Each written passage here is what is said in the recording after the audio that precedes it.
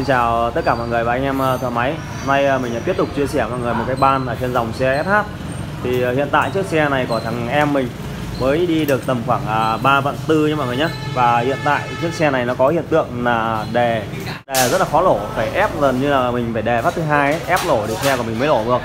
Và mình sẽ vào kiểm tra cái thông số hiện hành ở trên cái xe này Và kiểm tra cái áp suất nồng đốt xem nó có vấn đề gì không. Rồi ok thì bây giờ mình sẽ quay vào xe và kiểm tra cái trước mắt là mình kiểm tra cái thông số hiện hành của xe này.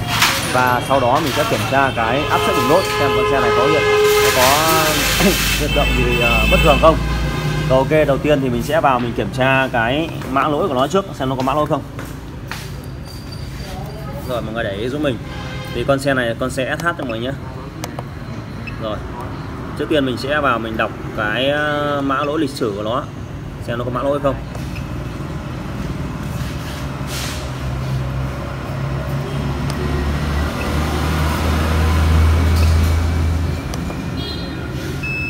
Xe không có mã lỗi nhưng người nhá bây giờ mình sẽ lổ máy lên để xem cái thông số hiện hành của cái xe này thì con này hiện tại bây giờ để gang ti thì rất là đuối nhé mọi người nhá.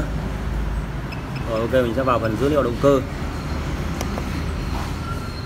và bằng lổ máy anh chú gần như là phải ờ, đề đến phát thứ hai thì xe của mình mới nổ được máy nhé mọi người nhá. và khi mà nổ máy rồi ấy, thì mình ờ, để gang ti trong bỏ tay ga ra mình ờ, buông tay ga ra thì xe của mình nổ gang ti rất yếu nhưng mọi người nhé thì con này nó rơi vào có tầm khoảng một nghìn hai đó, thì bây giờ nó mới lên này. Lúc mới khởi động động cơ thì xe của mình rất là yếu. Rồi, ok, mình sẽ đỏ lên một chút để xem nó có hiện tượng gì không. Các thông số nó bình thường không? Thì hiện tại con này vòng tua máy của nó rơi vào tầm khoảng một nghìn sáu nghìn bảy và cái thời gian phun lên tầm khoảng à, ba chấm. Và nhiệt độ động cơ của con này bây giờ đang là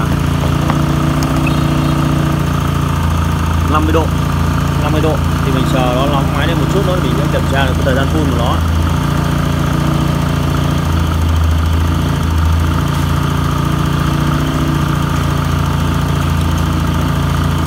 ok, mọi người, chờ một chút. Mình sẽ kiểm tra cái thông số của con xe này nó có gì đó bất thường hay không, có hiện tượng gì bất thường không.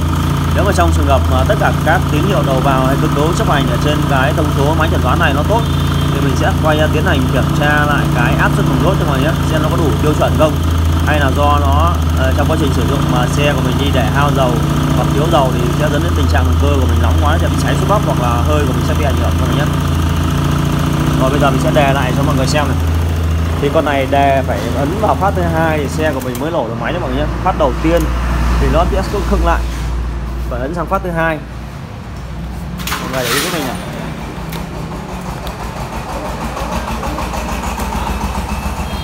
Rồi, mọi người để ý giúp mình. Đó. Về đè sang phát thứ hai thì xe của mình mới nổ được. Và rất là khi mà nổ lên thì tiếng máy của mình nó bị lịm nha mọi người nhé động cơ rất là khó khởi động. Rồi, cho tắt đi, cho để lại chú. Mọi người nghe giúp mình này. Rồi. Lên rất là yếu nha mọi người nhá. Ok. Thì à, vừa mình quay qua cho mọi người xem cái thông số hiện này ở trên cái xe này rồi, mình mình cảm thấy là tất tất cả các thông số nó bình thường thì bây giờ mình sẽ tháo buji ra và kiểm tra cái áp suất ủng đốt của con xe này. Xem nó có vấn đề gì hay không. Rồi, ok, bây giờ mình sẽ đo cái áp suất bùng đốt của con xe này để cho tất cả mọi người và anh em cùng tham khảo nha mọi người nhé. Mọi người để ý ra giúp mình.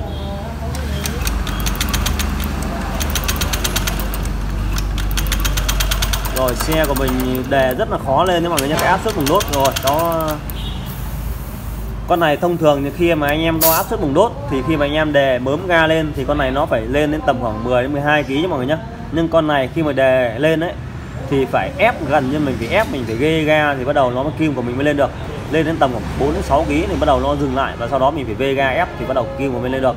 Thì con này mình chuẩn đoán là một là cái súp bắp của mình bây giờ nó đang bị cháy, hai là hơi của mình có vấn đề. Thì bây giờ mình sẽ hạ cái máy này xuống để kiểm tra cái phần động cơ nha mọi người nhé cháu để lại cho chú một lần nữa, mọi người để ý giúp mình này.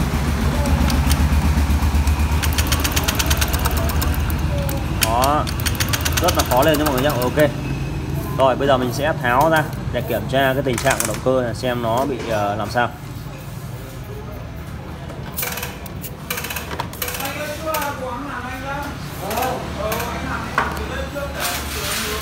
Thì bây giờ mình sẽ hạ máy hẳn ra ngoài cho mọi người nhé.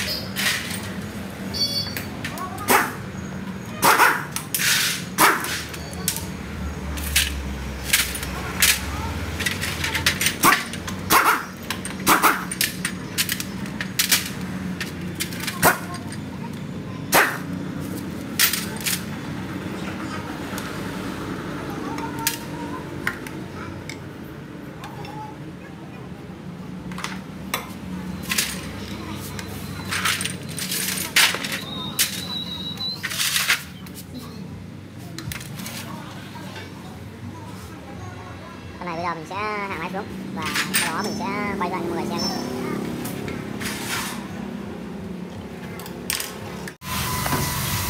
rồi ok nha mọi người nhé. Thì con này máy bây giờ mình đã hạ nó ra rồi. Thì bây giờ mình sẽ tháo phần uh, tàu bò ra và phần hơi ra. Trước tiên mình sẽ tháo phần tàu bò ra để kiểm tra xem tình trạng lấm của con xe này nó có bị cháy không. Nếu trong trường hợp mà nó bị cháy lấm thì mình sẽ xử lý lại cho khách hàng nhưng con này khách hàng báo là đi nó có tiếng kêu đấy mọi người nhé đi nóng máy lên. Là có tiếng kêu ở trong phần động cơ này. Và cò mình kiểm tra luôn. Anh tháo cái lắp vôn luôn nha à đâu nhỉ? Tháo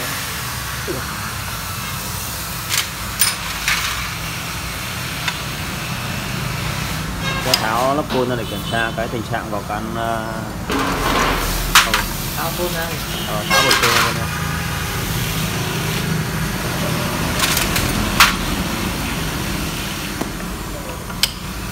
nha con xe nào mà anh em làm ít mà chưa tháo ra rồi thì khi làm anh em lưu ý anh em để ý mọi nhé để khi mình lắp vào cho nó nhanh cần trước anh em sẽ lấy máy ảnh anh em chụp lại hoặc anh em quay lại tại vì có những cái đời xe anh em ít làm ấy, thì anh em sẽ không thuộc được những vị trí ốc nên khi anh em trước khi anh em tháo ra thì anh em lên quan sát để ý một lượt hoặc chụp lại để mình lên lúc mình lắp vào cho nó nhớ và nhanh cho mọi nhé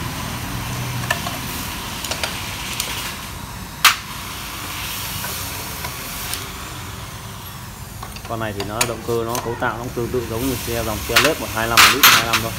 Cái, cái hệ thống bơm nước của nó nữa. thì uh, nguyên nhân của con này nhé mọi người nhé.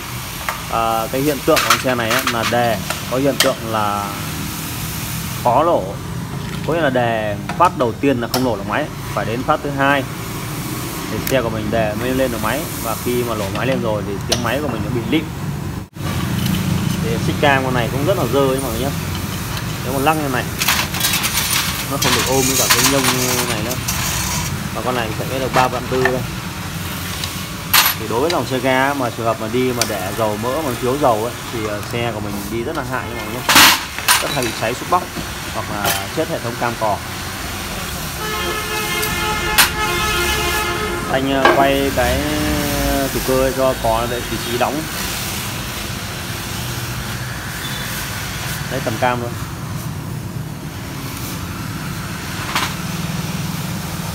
Tầm chưa? Cò xả này đang bị ghi. Tôi đặt kiểm tra luôn. Đó, kiểm tra trong có cháy không? Không bị gì.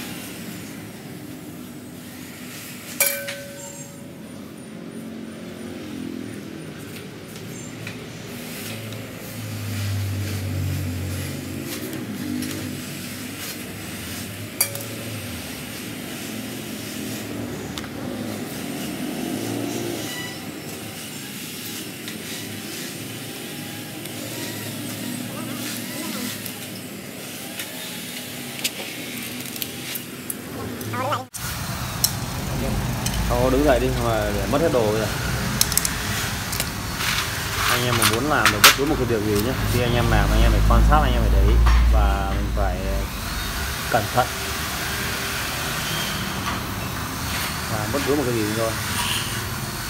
Muốn để mà mình làm được cái mình phải ờ, để ý quan sát. Chứ không phải là mình cứ ờ, làm hụt mạng vào đâu.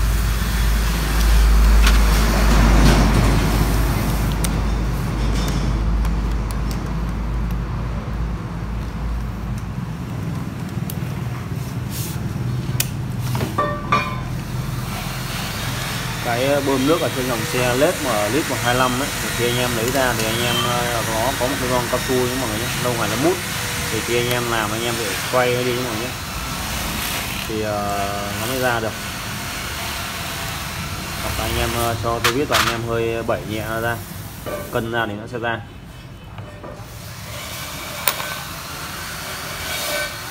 Anh giữ giữ máy.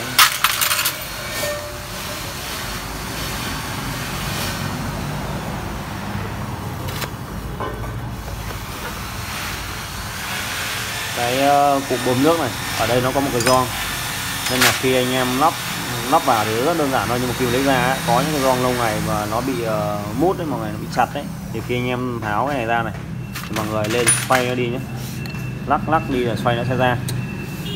Lắm anh em thì uh, không biết đấy cứ cho tôi biết vào 7 một chiều thì nó sẽ không cân nó sẽ không ra được như mọi người nhé và có những anh em không biết thì tháo nhấc hẳn con nóc ba con nóc này ra và bảy cánh quạt là khi anh em làm ấy thì anh em phải để ý, phải tìm hiểu, phải quan sát.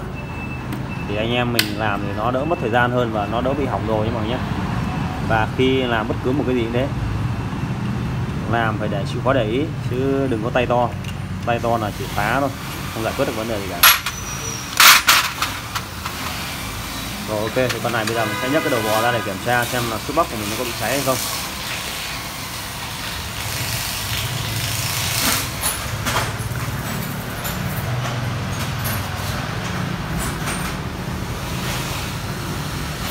Thì à, đối với tầm cam ấy thì anh em à, đặt nó rất là đơn giản thôi nó cũng không có gì cả. Thì à, để mà nhấc được cái bánh tăng cam này ra thì bắt buộc anh em phải tháo cái tăng cam này ra nhé mọi người nhé để cho nó trùng lại thì anh em lấy ra thì nó mới dễ.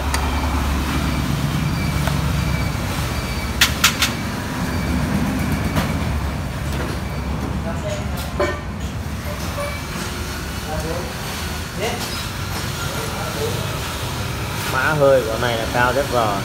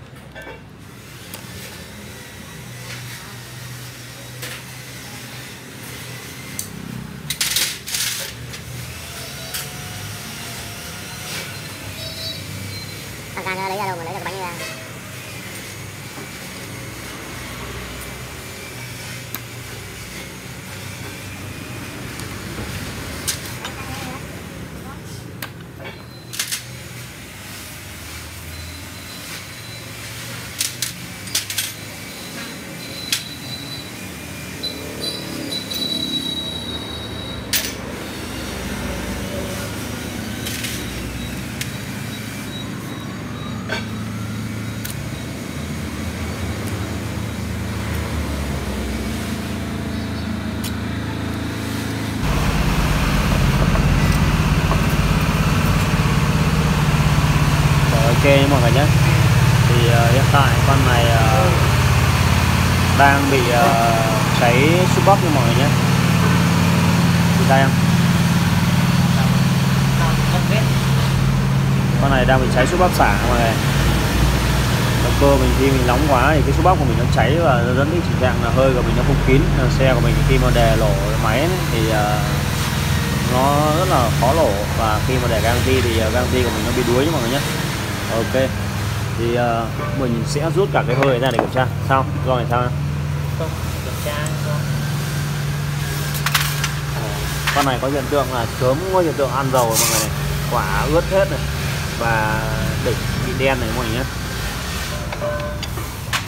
Tiện thể đã tháo ra thì mình sẽ kiểm tra tổng quát luôn. Con này hiện tượng ăn dầu mọi người này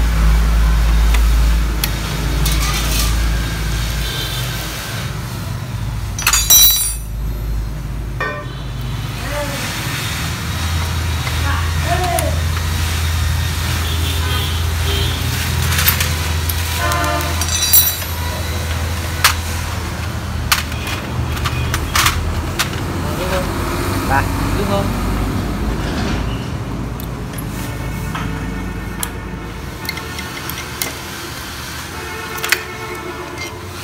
lấy luôn nha anh. Bó hay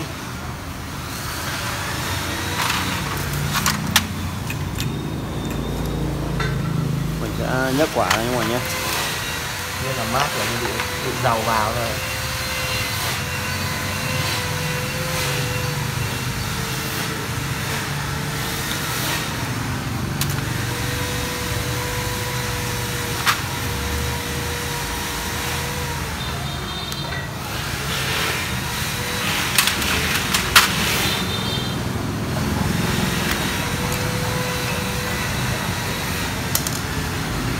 Con này có hiện tượng là mọi người này ăn dầu mọi người nhé. Và cái xăng măng ở đây mình em kiểm tra cái quả luôn cho anh.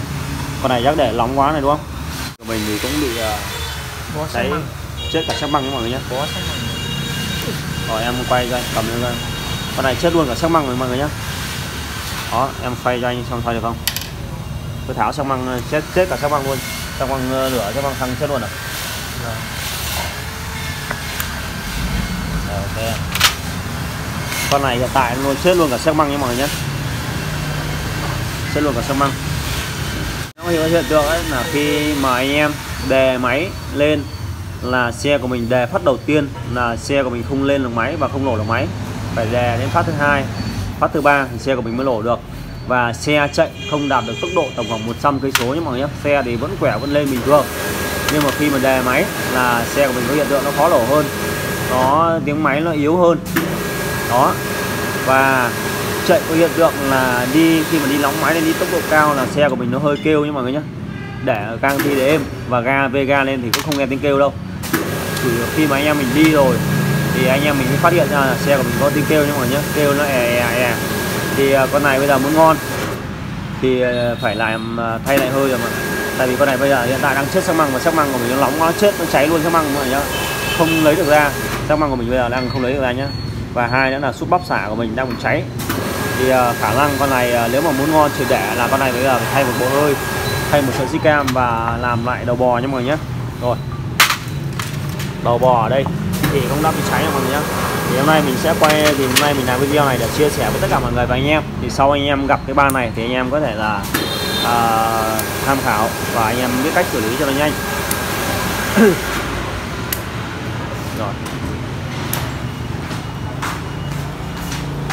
con này bây giờ mình sẽ gọi khách hàng đến và mình sẽ báo giá cho khách hàng sau đó mình sẽ tiến hành mình làm các bạn nhé. Con này anh em lưu ý là khi anh em đo hơi ấy đo áp suất bùng đốt ấy, thì con này hơi của mình vẫn lên. Khi mình đề ga ép ga nó vẫn lên đủ áp suất mọi người nhé. Nhưng mà anh em phải để ý cho mình là khi anh em đề anh em ga lên tầm khoảng lên lên được tầm khoảng 6 đến 8 cân kim của mình bắt đầu giật và rất và rất là khó lên nha mọi nhé. Và phải đề một tí bắt đầu mới lên được thì đấy là cái kinh nghiệm làm khi anh em làm với bất cứ một cái gì thì anh em phải làm sao tinh ý và phải quan sát và phải phán đoán và phân tích. Nhưng mọi nhé suy đoán nhưng mọi nhé còn cứ làm cứ